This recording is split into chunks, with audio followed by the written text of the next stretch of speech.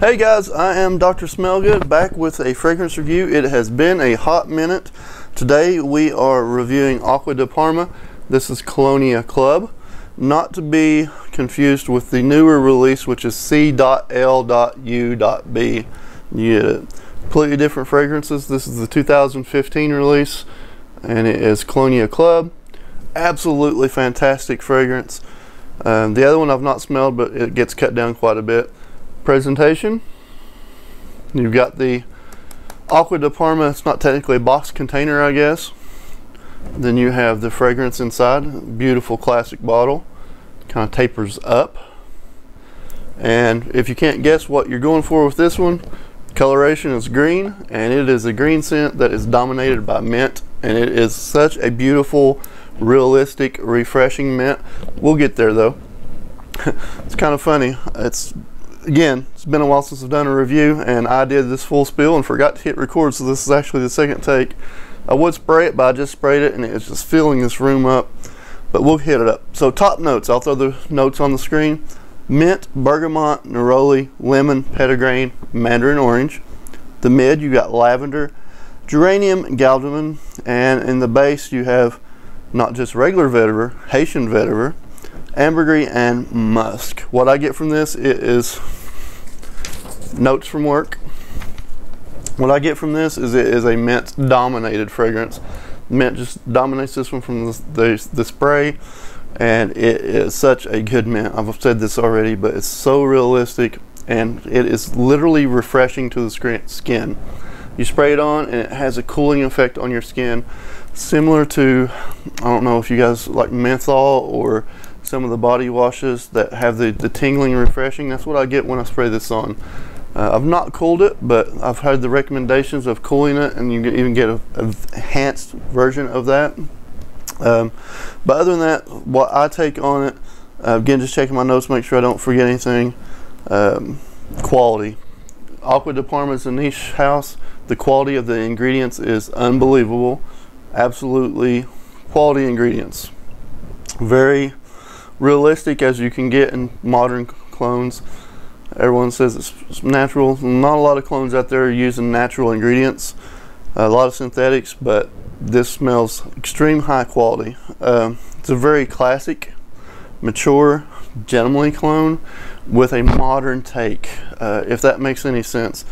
Um, I don't think it's dated at all. Um, of course, the Colonia in general is one of the older renditions of a fragrance out there, and this is a modern twist on it. I said 2015 uh, release. It is very realistic and like I said, just so cooling to the skin, so refreshing, especially on hot days. This excels on hot days.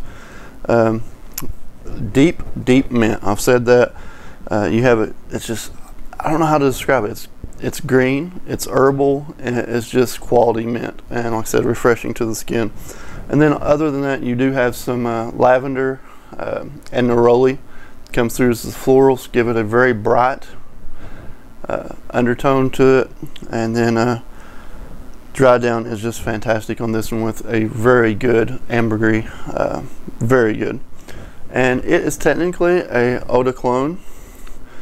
Uh, as you can see, I'll show you. Technically an eau clone. It does not perform like an eau clone. It performs more like a parfum. I get anywhere between six to eight hours consistently on this one. This is one that is hospital safe. I work to the hospital all the time. Uh, get very good compliments. Um, no one's not liked it.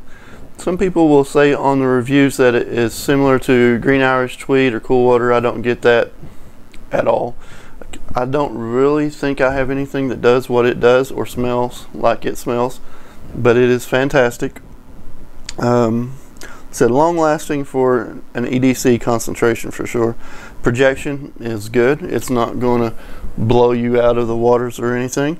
Uh, longevity, I'll give it a good longevity, like I said, six to eight hours consistently. And the sillage on it, uh, or scent trail, is fantastic. I've actually gone to the med room uh, a couple times. It's behind locked door and forget something, turn around and go right back in, and I open the door and be like, wow, you can still smell it in the med room. So the, the scent trail is there, even hours after spraying it. Um, so I highly recommend this one. Pricing on it, I got it at Belk's. I'm wanting to say I got it for 60 I think $69 if I'm not mistaken. Now depending on where you purchase this from, it is a niche uh, fragrance.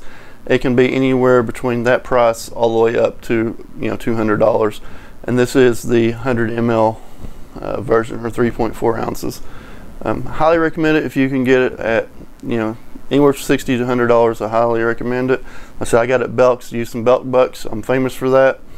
But uh, guys, that's really what I've got. Highly recommend this one if you want a refreshing that literally tingles on your skin when you first spray it. Just refreshing. Uh, fantastic, different. I could see this definitely being a, you know, a scent that you can wear every day if you want any situation. It does excel in the heat, or even if you want to do a signature scent, I would say this definitely could be a signature scent. It does feel feel manly, and I don't have anything bad to say about it.